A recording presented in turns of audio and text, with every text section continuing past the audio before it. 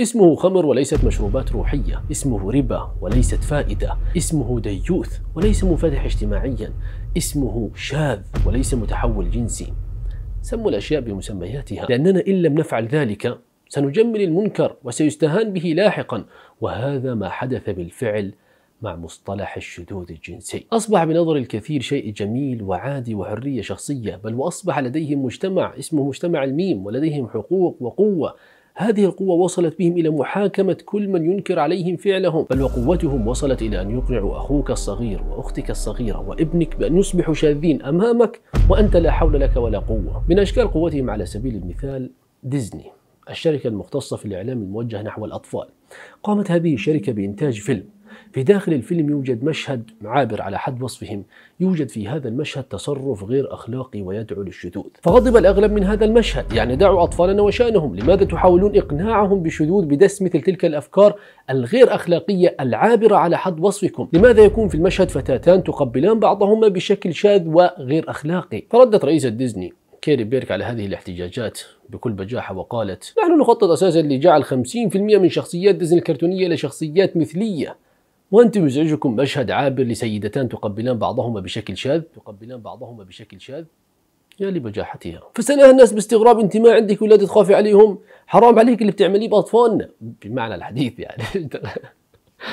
اشتغل الجين العام عندي. قالت نعم عندي أبناء وليس واحد بل اثنان.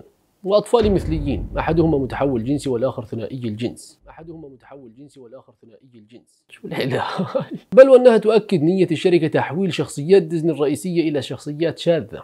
أحد أبناء كيري بيرك قال لها مرة يا أمي لماذا لا يوجد شخصيات مثلية كرتونية في ديزني؟ فاستغربت الأم وقتها وقالت أحد أبنائي يعني متحول والآخر ثنائي. هيا لنجعل كل أبناء العالم مثليين وشاذين. تخيل كمية البجاحة لوحدك. ونتيجة لذلك الدول في الشرق الأوسط لما رأت بجاحتها قامت بحظر عرض الفيلم في دور السينما لديها. فضحكت كيري بيرك على الأغلب لأنها تعلم أن أطفالهم سيشاهدون ذلك الفيلم وتعرضه ديزني عبر تطبيق ديزني بلس. الذي يعرض من خلال هواتفهم وآيباداتهم لا يحتاج الأمر الذهاب إلى السينما. وردت على ذلك القرار بحظر عرض الفيلم في دول الشرق الأوسط في دور السينما بأنها جعلت الاشتراك في تطبيق ديزني بلس في الشرق الأوسط الأرخص. قد يقول أحدكم الآن أنت تبالغ ربما يا محمد. ديزني بها محتويات قيمة وجيدة ومسلية وليست كلها تدعو إلى المثلية. صحيح أتفق معك ولكن تأكد حتى لو عرضت ديزني أفلام قمة في الأخلاق والقيم. قيمة الاشتراك بها ستذهب لدعم أجندة للترويج للمثلية وهذا ما قاله رئيس التنفيذي لشركة ديزني آه، بوب تشابك تعهد بتقديم خمسة ملايين دولار للمنظمات التي تعمل على حماية حقوق المثليين أوقفني مرة مقال كتبته إحدى الأمهات تقول جاءتني ابنتي ذات السبع أعوام وسألتني ماما يعني إيه مثلي الجنس؟ فاستغربت الأم وقالت عزيزتي من أين سمعت هذه الكلمة؟ لتجيب الطفل البريئة. سمعتها من مسلسل نادي جلسات الأطفال الذي نشاهده على نتفليكس. تقول الشخصية أن والداها انفصلا لأن أباها مثلي الجنس. لك أن تتخيل أخي الحبيب أختي الفاضل أن هذا المصطلح وصل لمسمع طفلة بريئة من أسرة مسلمة بسيطة في عقر بيتها. فما بالك بما يسمعه الأطفال في الغرب من تشويه فكري حول الشذوذ؟ لدرجة أنهم في المدارس يوجد لديهم حصص تشرح الشذوذ الجنسي أو باسمه المجمل الميول الجنسي وتشرح أفكار مجتمع الميم. يحاولون جعل الطفل يتقبل الأمر كأنه مسلمات وأنه أمر عادي وإذا أراد أن يصبح شاذ يمكنه فعل ذلك. ثم يستغرب الغرب يعني لماذا ارتفعت نسبة الشواذ لديهم في آخر عشر سنوات. ففي عام 2012 في أمريكا لوحدها كانت نسبة الشواذ هي 3.5% يعني كل 100 شخص يوجد منهم ثلاث تقريبا شاذين جنسيا.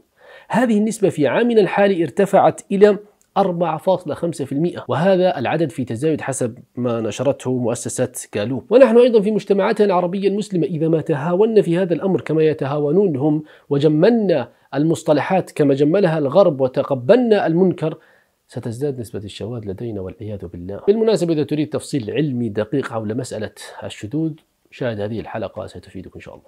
المهم أصبح الأطفال في الغرب في ضياع وغضب أهلهم ولسان حالهم ابتعدوا عن أطفالنا. لا تلعبوا بعقول أطفالنا بأفكار الشذوذ. فسن قانون هناك اسمه لا تقل مثلي. سنه حاكم فلوريدا. ينص القانون على منع المدارس من الخوض في أي نقاشات حول الميول الجنسي أو التوجهات الجنسية حتى الصف الثالث مع الأطفال. ومن يفعل ذلك من المدرسين يعرض نفسه للمحاكمة القانونية. هذا القانون طبعا أزعج الشواذ وداعميهم وعلى رأسهم ديزني. فاعترض الرئيس التنفيذي لشركة ديزني على هذا القرار وتعهد بتقديم مساعدات مالية للمؤسسات التي تدافع عن حقوق المثليين يعني يا لبجاحتهم حتى إخوانك وأطفالك إذا دافعت عنهم يغضبون يريدونهم شواذ غصب عنك وعنهم. فحاكم فلوريدا لما رأى بجاحتهم قام بسحب المزايا الضريبية التي تقدم في العادة لشركة ديزني هناك في تلك الولاية يعني أصبحوا يدفعون ضرائب أكثر استاهلوا.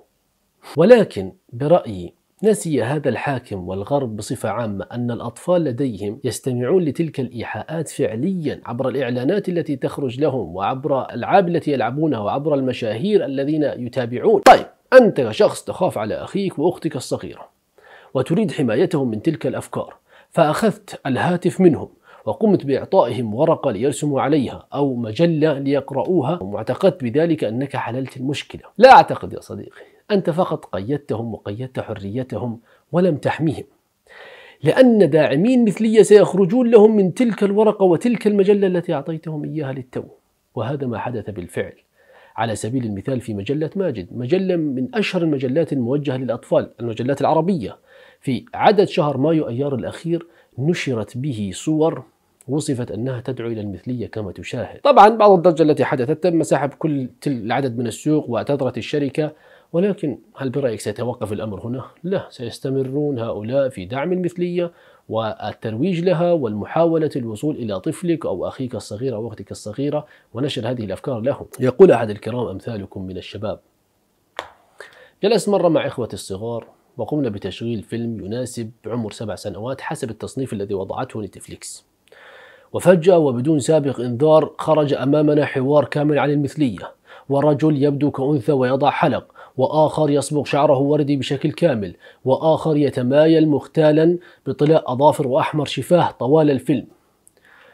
يكمل الشاب قائلا أنا شخص بالغ وعمري 25 عاما ولكني اقتنعت لوهلة بفكرة الشذوذ. شعرت أن الأمر عادي في المجتمع. بعد أن شاهدت هذا المشهد المنضبط في الإخراج والسيناريو الذي تم عرضه فما بالك بالأطفال؟ فيسأل أيضا يقول كيف نحمي أبنائنا وإخواننا من تلك الأفكار؟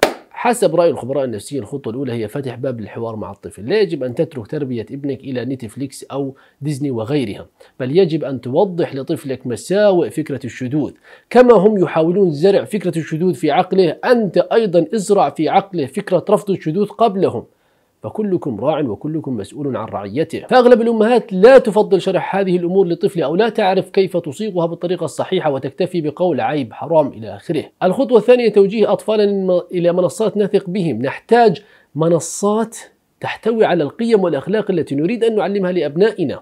مثل قناة طيور الجنة مجلة نور المسؤولة عنها آه، مؤسسة الأزهر وغيرها الكثير. نريد منصات نثق بالقائمين عليها لنترك أطفالنا لساعات أمامها يشاهدونها بدون قلق وخوف عليهم. وإلا سنصل لنتائج لا تشرف في مستقبل أطفالنا كما يحدث الآن في الغرب.